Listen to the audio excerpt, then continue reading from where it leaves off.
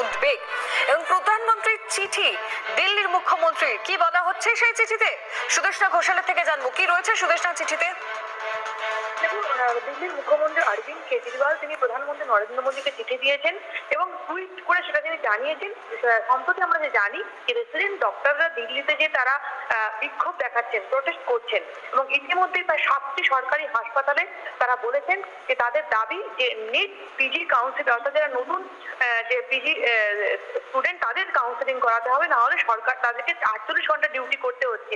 এবং এই দাবি তাদের মানা হলে তবেই তারা পুনরায় কিন্তু পরিষেবা দেবে। এবং সেই মর্মেই ধর্মঘট শুরু হয়েছে এবং আগামীকাল এমস এর ডক্টররা উনত্রিশে ডিসেম্বর তারা ধর্মঘট করবে এবং যেহেতু তাদের সাথে আমরা জানি গতকাল পুলিশের সঙ্গে ধস্তাধস্তি হয়েছে এবং কোভিড কালে এরাই কিন্তু ফ্রন্ট লাইন ওয়ার্কার হিসেবে কাজ করেছে এবং মানুষের জীবন বাঁচিয়েছে।